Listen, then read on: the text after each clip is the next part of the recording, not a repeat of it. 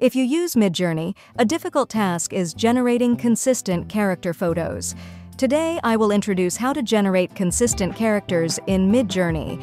This is a simple three-step process. Step 1. Quickly generate reference images and save them as a custom option. Step 2. Generate any pose you like without using the custom option. Step 3. Use Vary region to repaint the face. Note that since we need to use Vary region, currently only Midjourney 5.2 and below support it, V6 does not support it yet as it is a beta version. So during the second step, be sure to use a model other than V6. Now let's demonstrate two examples.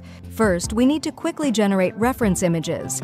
The method I recommend most is using the split technique, which is to add instructions like image split into two, image split into three, etc. in the prompt, and add shot from different angles to obtain multiple consistent characters from different angles at once. Here I used split into forest. Sometimes Midjourney will generate three instead of four images, but that's okay. We have now generated four sets of different characters, each set containing several photos of the same character. We can pick the pictures that we feel meet our requirements, or regenerate them. Here, we choose this picture, upscale and save it. Next, you need to split the picture. For example, you can use screenshot tools to separately capture these images. Here I used the MJ Splitter website, which can quickly cut the image into four parts, just what we need. Next, we upload the four images back to Discord to obtain their links. Then we create a shortcut command for this character, so we don't have to copy all the links every time. Use the slash prefer option set, paste all the links, and some words describing the character.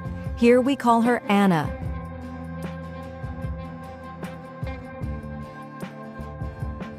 In the second step, we randomly generate a character photo with a pose. Here we need to use a model that supports Vary region, like 5.2.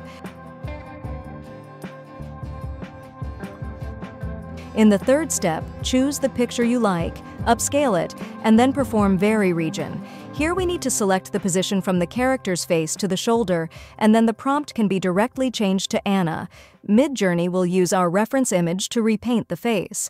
You can see the generated picture is more similar to Anna. Try a few times and you will get the picture you want.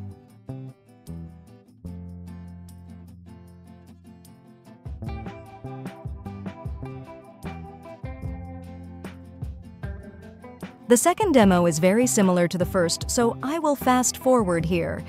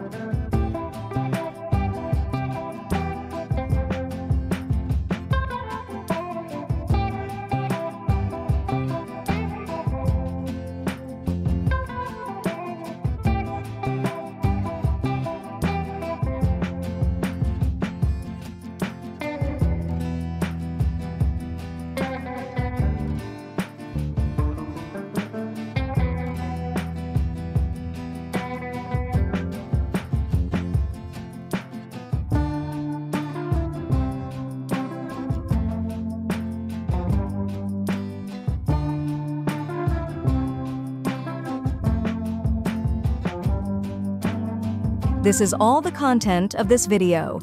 Have you learned how to generate consistent characters? Please tell me in the comments section. Don't forget to subscribe to my channel. I will update more useful AI tutorials every week.